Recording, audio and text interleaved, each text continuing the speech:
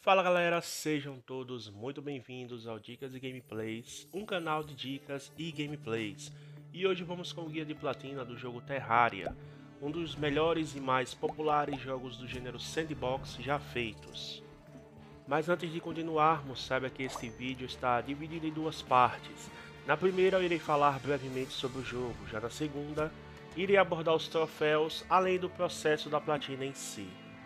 Caso você já conheça Terraria ou não tenha interesse em assistir a primeira parte, eu deixarei na descrição do vídeo os tempos onde começam cada parte, além de suas subdivisões. E agora, sem mais enrolação, vamos ao guia.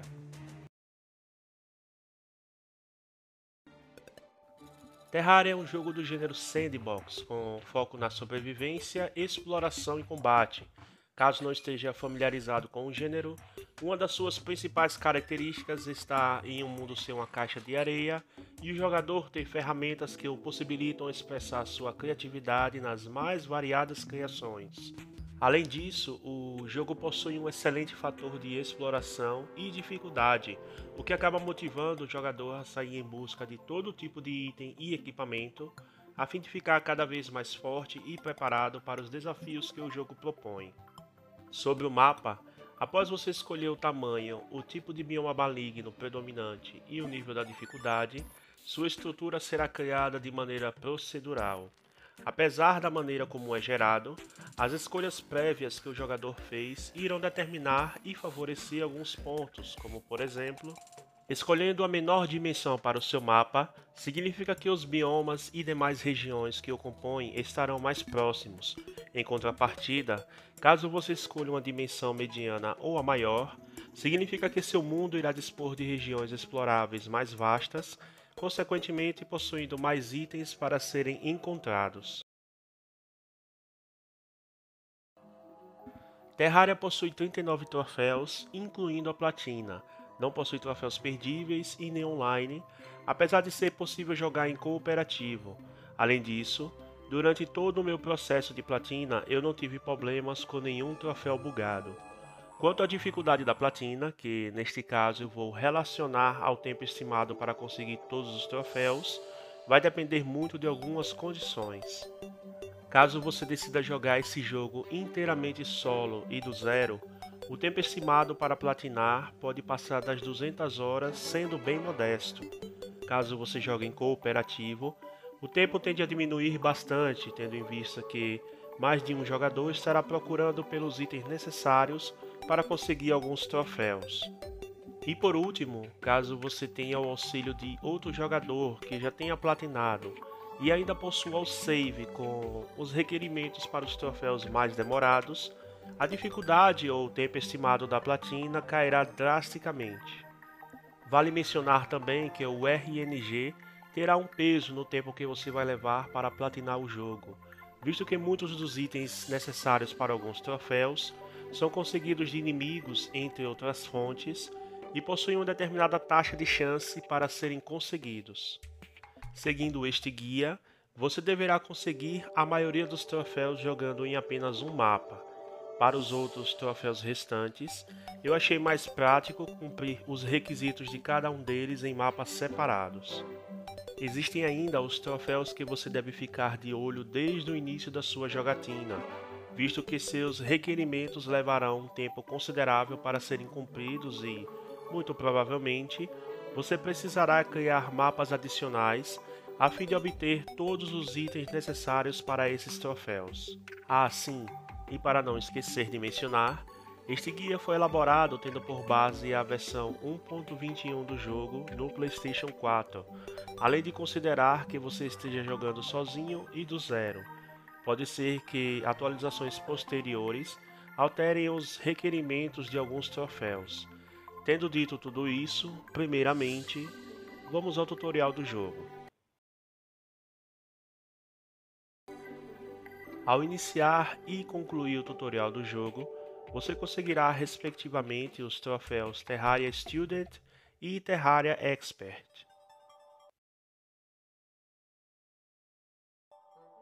Após personalizar o seu personagem, você deve criar o mapa onde a maioria dos troféus serão feitos.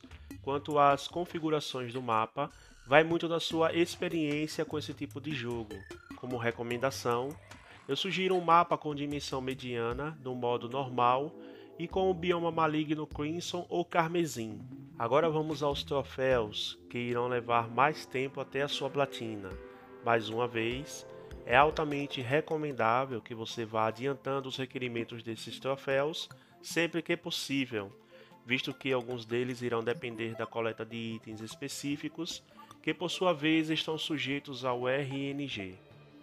E vale lembrar que, caso seja possível e a fim de minimizar o tempo até a platina, procure jogar em cooperativo ou organizar boosts para os troféus mais demorados. Slimes são uma das criaturas mais comuns que você encontrará ao longo de suas explorações. Existem muitos tipos diferentes espalhados pelos biomas do jogo. Para conseguir o troféu Slimer, você precisa encontrar e matar cada tipo de slime requerido para esse troféu. Atualmente, os tipos de slimes requeridos são os seguintes. Eu deixarei na descrição desse vídeo a tradução dessas partes que estão em inglês, a fim de facilitar a sua vida. Não se preocupe. Para conseguir o troféu Pet Hoarder, na minha opinião, mais chatinho, você precisa conseguir todos os pets requeridos. Em Terraria, os pets são companheiros do seu personagem, são invencíveis e puramente cosméticos, embora alguns emitam luz, ajudando deste modo na visibilidade em locais com pouca ou nenhuma iluminação. Não confunda pets com minions, estes últimos possuem a função de atacar inimigos próximos. Os pets requeridos para o troféu são os seguintes: Lembrando que a tradução das partes em inglês se encontra na descrição do vídeo. Você conseguirá o troféu I'm Smelting ao criar 10 mil barras de materiais variados. Apesar deste troféu não envolver RNG, ele certamente levará um bom tempo para ser obtido. Os materiais que são possíveis de serem convertidos em suas respectivas barras são muitos e provém de muitas fontes. Apenas mantenha uma frequência de criação de barras que o troféu pipocará com o tempo. Você pode monitorar quantas barras já produziu nas estações de criação no menu de Achievements, acessado pelo menu principal. Abrindo um breve parêntese para algo que ajuda bastante neste troféu e no jogo de modo geral, caso você não saiba, o save do seu personagem é independente dos saves criados para cada mapa gerado. Sendo assim, por meio do recurso de salvamento na nuvem ou num pendrive, é possível clonar itens. Fica a dica. Para conseguir o troféu A Knight Shiny Armors, você deve obter e, como recomendação, equipar ao menos uma vez todas as armaduras requeridas para este troféu. Apesar do troféu não exigir todas as armaduras existentes nessa versão do jogo, a lista não é pequena, então vamos a elas. Lembrando que eu fiz uma breve tradução de algumas partes, caso você tenha dificuldade com o inglês, e se encontra na descrição do vídeo.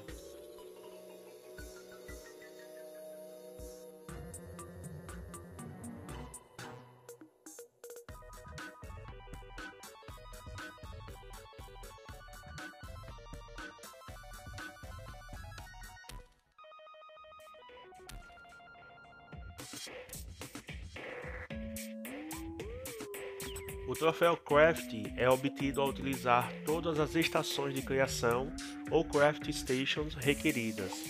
Apesar de ser necessário apenas abrir o menu de criação de cada estação da lista a seguir, para contar como utilizada, é claro, eu recomendo que você crie no mínimo um item em cada estação de criação.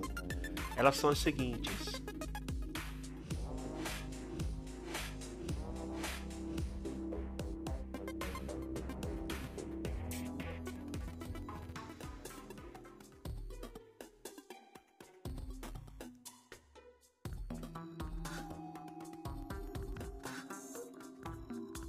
E esses foram os troféus que eu recomendo que você vá adiantando desde o começo e sempre que possível. Agora vamos com outros mais simples. Para conseguir o troféu Home Sweet Home, você deve construir qualquer estrutura que seja considerada habitável para o NPC Guide, que está disponível desde o início do jogo. Eis aí um exemplo de uma estrutura habitável. Além das paredes, do chão e do teto, a estrutura precisa ter pelo menos uma fonte de luz, uma porta, algum item de conforto como cadeira ou cama e algum item com superfície plana, tipo uma mesa ou a mesinha de trabalho ou workbench. Os NPCs não irão morar em estruturas que estejam nos biomas da corrupção ou carmesim, nem em biomas corrompidos por estes dois.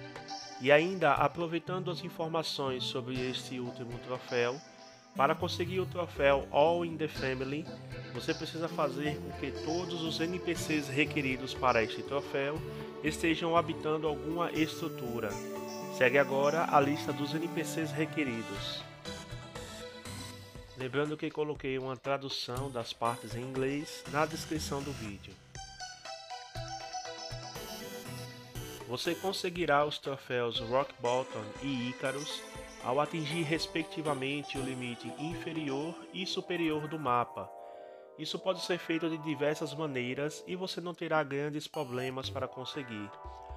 Enquanto que um bom par de asas ou uma porção de gravidade te permitirão alcançar o limite máximo do mapa, a poção Obsidian Ski Potion permitirá que você entre na lava sem sofrer danos, deste modo, alcançando o limite inferior do mapa.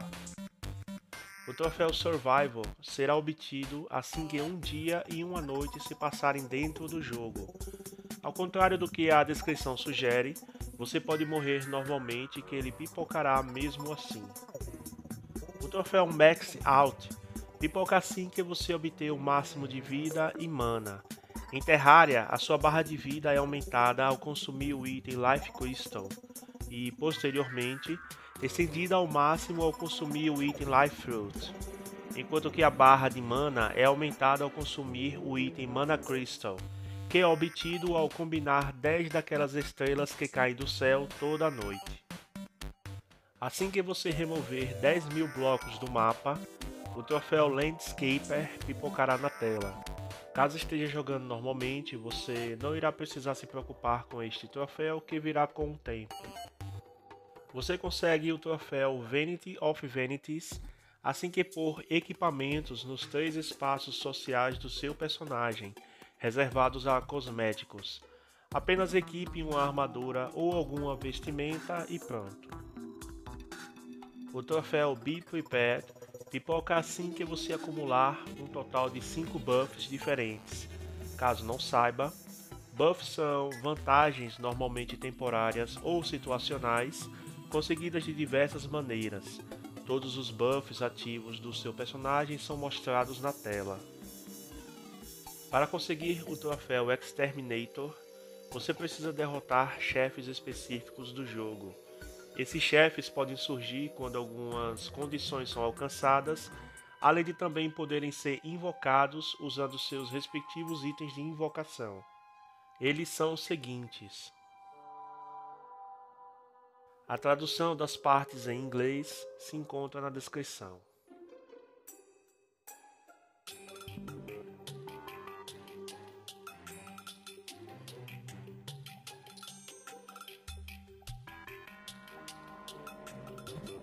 O troféu Airtime pipocará assim que o seu personagem acumular uma certa quantidade de tempo no ar.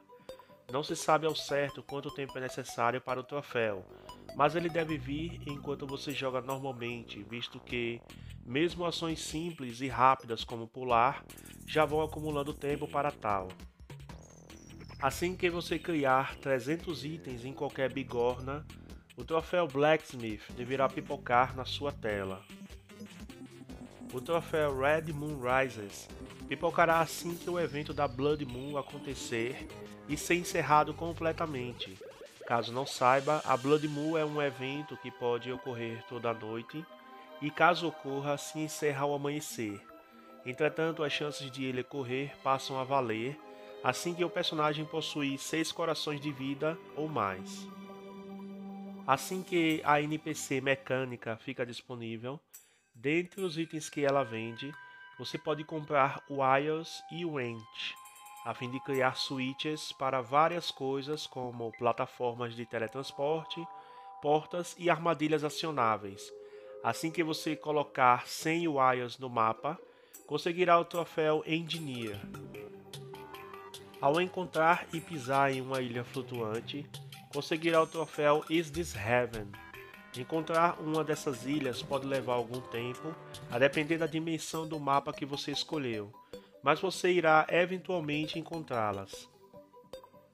Para o troféu To Hell and Back, você deve chegar ao submundo, que é a região mais profunda do mapa, e então retornar à superfície sem morrer. Para obter os troféus Ophthalmologist, Bonafide e Rider Worm, você precisa derrotar respectivamente os chefes The Twins, Skeleton Prime e The Destroyer, todos eles disponíveis no Hard Mode. Ao derrotar cada um desses chefes uma segunda vez, você também conseguirá o troféu Back for Seconds. Para obter o troféu Safe Fall, Basta que você sobreviva após cair de uma altura elevada. A altura em si não é especificada, apenas vá experimentando alturas cada vez maiores até conseguir. Existem muitas maneiras de minimizar ou mesmo anular qualquer dano por queda. Caso você pule de uma altura elevada o suficiente, conseguirá também o troféu Lita Tall Building in a Seagull Bound. Assim como no troféu anterior, a altura aqui também não é conhecida. O troféu Homicidal é conseguido ao ferir e matar o NPC Guy. Para tanto, você precisa equipar no espaço de acessórios do seu personagem o item Voodoo Doll, que por sua vez é obtido do inimigo Voodoo Demon, encontrado no submundo. Para o troféu Appease the Volcano Gods, como dito na descrição, Basta que você jogue lava no NPC Guide. A lava é encontrada na região do submundo e proximidades. Você precisará do item Bucket para coletar lava. Feito isso, jogue no Guide que o troféu vem assim que ele morrer. O troféu Challenge Accepted pipoca assim que você entrar no Hard Mode. Isso acontece ao matar o chefe Wall of Flash no submundo. O troféu Marathon Runner virá assim que você acumular um total de 42 km percorridos a pé.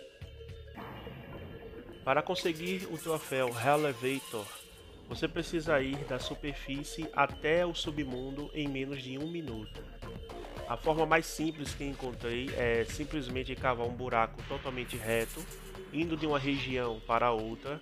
Daí você só precisa cair por esse buraco e chegar até o final a tempo.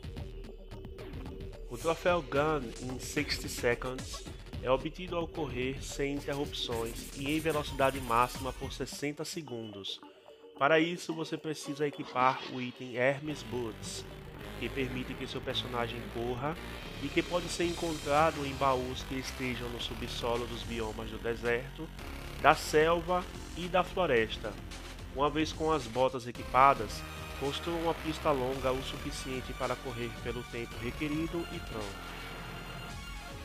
O Goblin Invasion ou Invasão Goblin é um evento que pode ocorrer durante o dia, uma vez que certos requisitos tenham sido cumpridos. Sendo mais explicativo, seu personagem precisa ter 10 corações de vida ou mais, além de ter destruído um Shadow Orb ou um Crimson Heart encontrados respectivamente nos biomas da corrupção e carmesim. Assim que você concluir o evento, conseguirá o troféu Crowd Control.